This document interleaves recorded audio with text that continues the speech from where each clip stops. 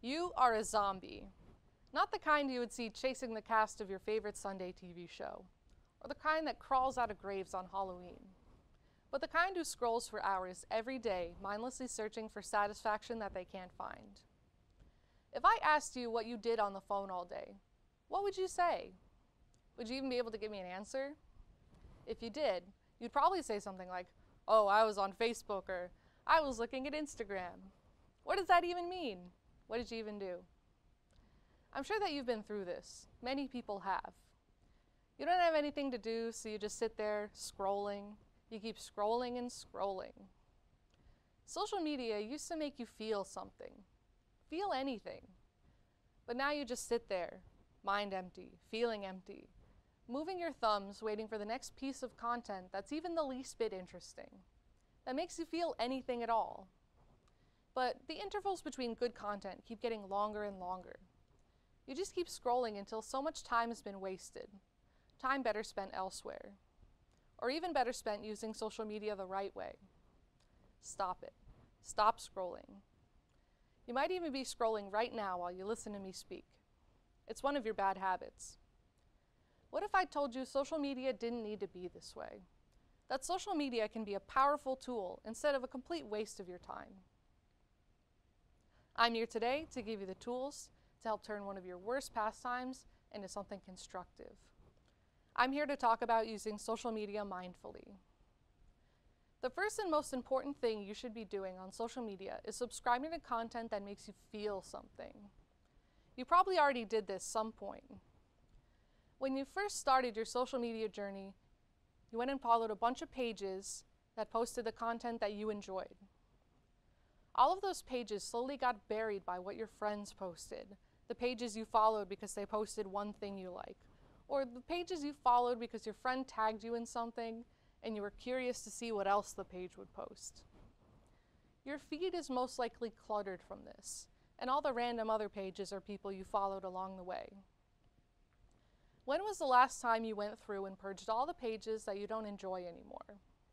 You're probably thinking, oh, I've done that before, so I'm fine. You can't get away with doing it every once in a blue moon. You need to make sure that the pages you follow are consistently giving you good content, or you'll end up just scrolling and scrolling, trying to find nuggets of good content and wasting your precious time. If you need to pause the video right now and go to your Facebook, Instagram, Twitter, Pinterest, Snapchat, and go delete a bunch of your followings, go ahead. Do that. Do it right now. I'll still be here if you keep the tab open.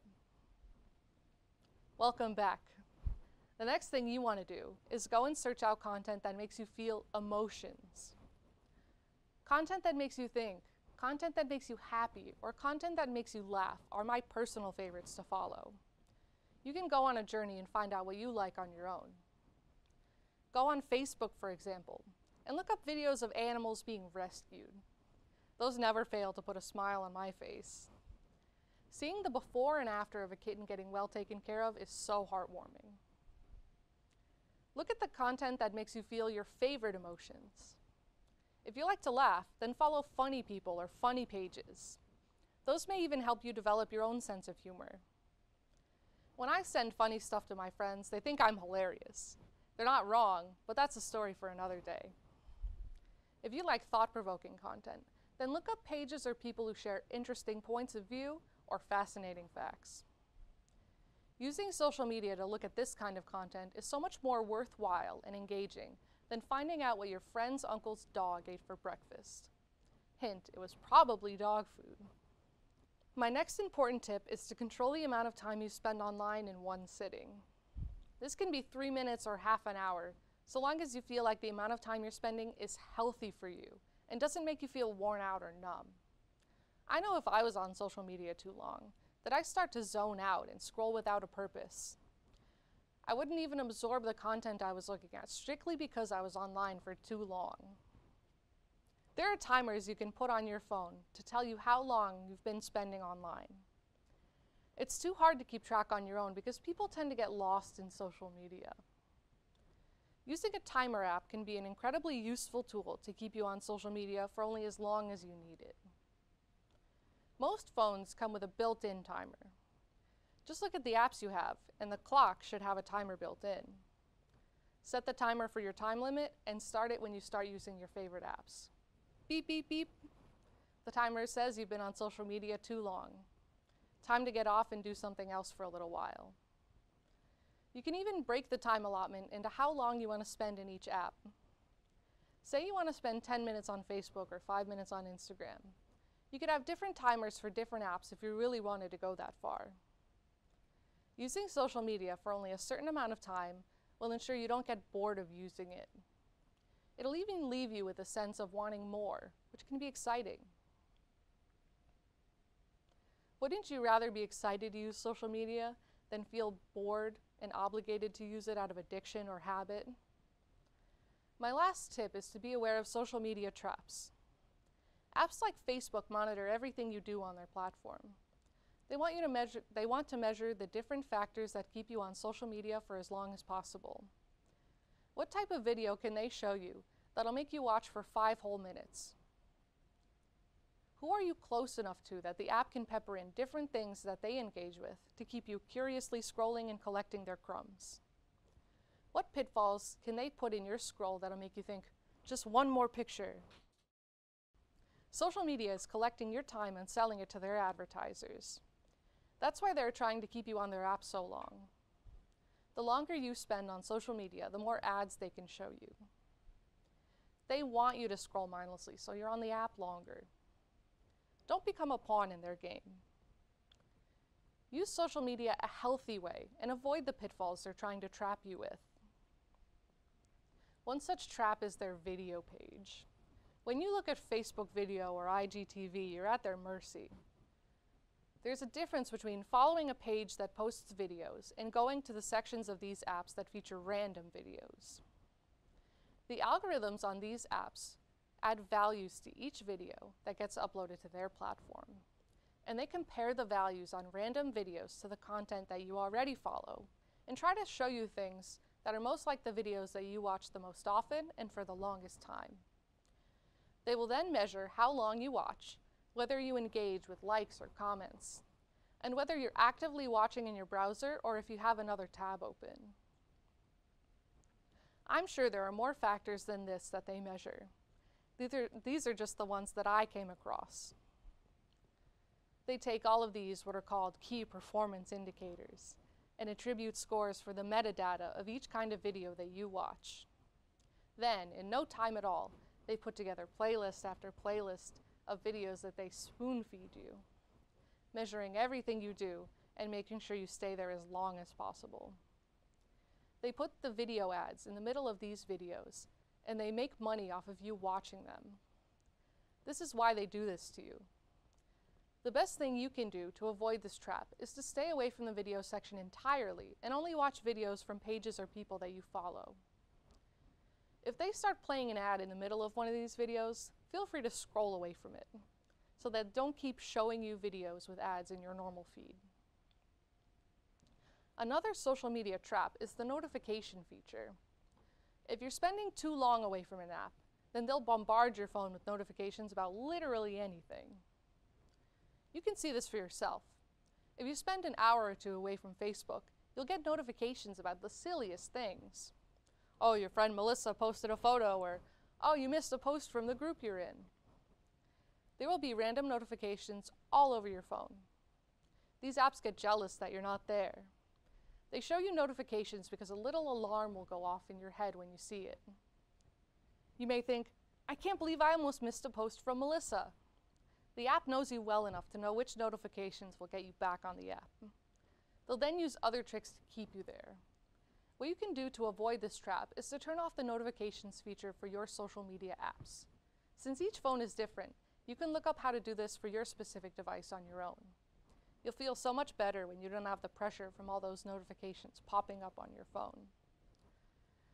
The last trap I'll talk about is the advertising algorithm. Facebook keeps track of ads the same way they keep track of videos on the platform that are longer than one minute. They give them values and measure the way that you score with each variable. The most important variables being engagement and view time. Apps will show you ads that'll keep you on the platform longer, or ones that you're most likely to make a purchase from based on various other factors that they measure outside the app. Instagram and Facebook even released a shopping feature so that you can make a purchase and stay on the app at the same time. To avoid the ads, just keep scrolling past them. Don't give them any watch time. Don't engage with them. Ignore the ads. Once you start ignoring the ads on social media, you'll no longer feel like a product. This can be very freeing. Social media doesn't need to feel bad. Social media is not inherently bad for you.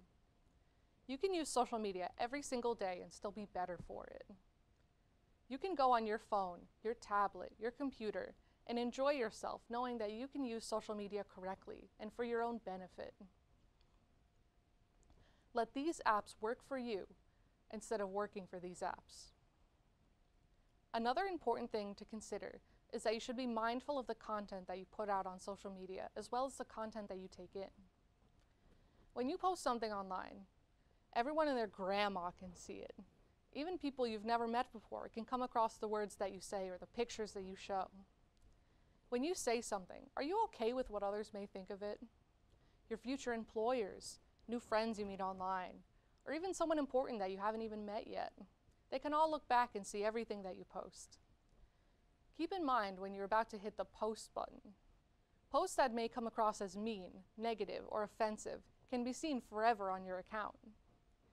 Even if you feel aggressive in the moment, do you want that aggression to live on in the words that others can see in their screens? You may feel mad at someone, and you want them to know that, so you call them out.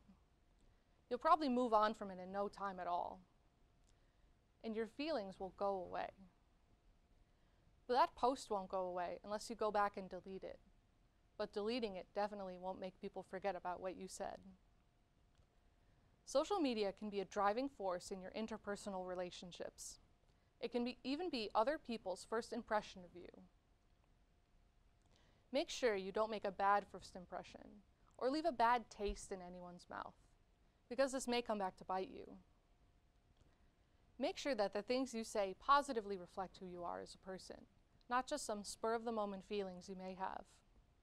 You're a good person, but people can become distracted by the things you say on the internet. When you put good things out into the internet, it can show everyone how positive you are. It may even make their day. Wouldn't you rather make people smile instead? I know I would. Also make sure that the things that you share are true. Some articles online may present false information. It's easy to be tricked when you read something online. We're all inherently trusting people, and we don't expect others to try to trick us. If you're posting and you're going to share an article with your friends or family, do a quick search on Google to make sure that it's true. Then feel free to share away if it is. The last thing I'll leave you with is a piece of advice. Make sure that when you're online, that you surround yourself with good people. These are the people that make you feel happy. They make you feel good about yourself. And they may help you become the best version of yourself that you can be. Online friendships can last a lifetime. If you properly investigate someone's background and determine that they're a safe and worthwhile friend, then you could keep them as a social media friend for years to come. Friendship is one of the most powerful tools on social media. Make sure you use it to your advantage. Thank you.